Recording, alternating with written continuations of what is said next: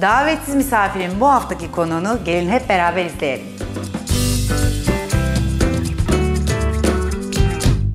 Merhaba ekranları başında bizleri izleyen kıymetli davetsiz misafir izleyicileri Türkiye turnemize hız kesmeden devam ediyoruz.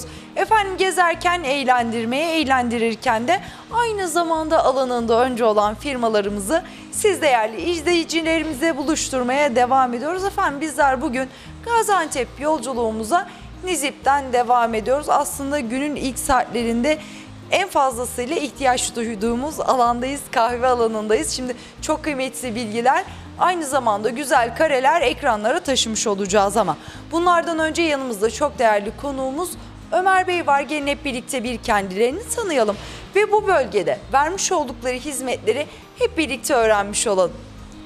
Ömer Bey öncelikle programımıza hoş geldiniz. Hoş bulduk, teşekkür ederim. Sizler de hoş geldiniz. Hoş bulduk. Şimdi Ömer Bey aslında burada kahvelerimizle alakalı sohbetimize başlayacağız ama bunlardan önce istiyorum ki değerli izleyicilerim sizleri tanımış olsunlar. Ee, ben Ömer Karaca, ee, Gaziantep Nizip'te kafe sektöründe hizmet vermekteyim. Ee, yaklaşık iki aydır açtık buraya. Güzel bir şekilde hizmet sunmaya devam ediyoruz. Müşterilerimizin ee, güzel geri dönüşlerinden dolayı da bayağı bir ee, mutluyuz.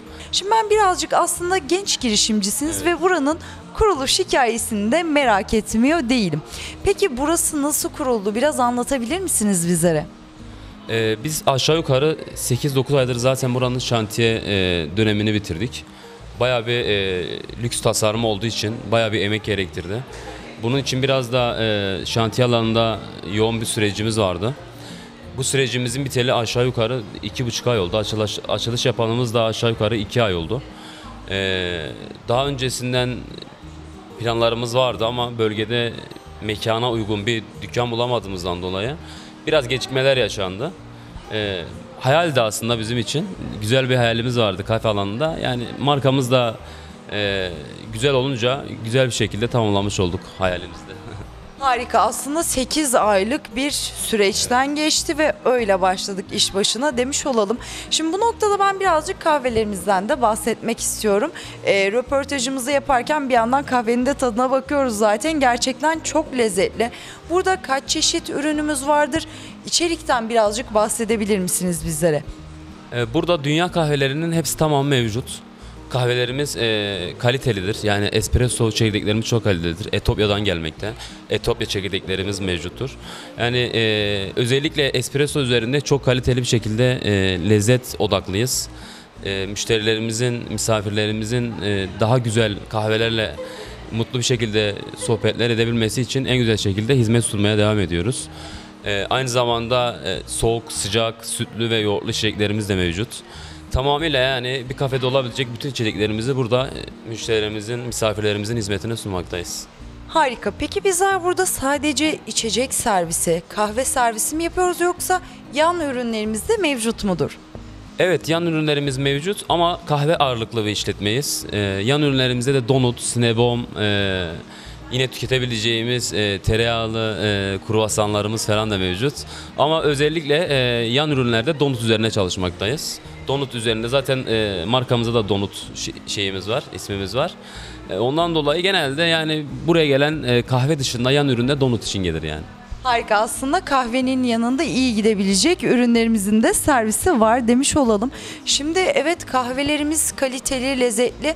Bu noktada şuna da vurgu yapmak istiyorum. Özellikle dekorasyon da çok güzel. Ee, peki burada kaç kişiyi ağırlayabiliyoruz? Kaç kişilik bir kapasitemiz mevcuttur? Toplamda 400 kişilik misafir kapasitemiz var. Aynı zamanda kütüphanemiz var. Kütüphanemizde e, rahatsız olmadan, kimse kimsenin sesini duymadan kitaplarımızı rahat bir şekilde okuyabileceğimiz bir alanımız mevcut. Aynı zamanda e, prizlerimiz notebook çalışma alanlarımıza göre tasarlandı. Burada konforlu bir şekilde çalışma alanlarımızı e, müşterilerimize sunduk. Çok şükür o alanda da e, başarımızı herkes görmüş oldu. Onun dışında e, bizim bahçe alanımız çok geniş. Hani ha- her türlü rahat açık alanda oturuma sahibiz. Aynı zamanda alt katta yine oturumlarımız var, var kapalı alanda. Bizde amfi oturumu da mevcut. Biliyorsunuz markamızın özellikle amfi oturumları meşhurdur. Çok güzel bir tasarıma sahip amfi oturumumuz da var. Yani müşterilerimizin rahat edebileceği konforlu alanları inşa ediyoruz projelerimizde, tasarımlarımızda. Ee, onun dışında e, mekanımızın lüks tasarıma her zaman odaklı olduğunu zaten gözler önünde.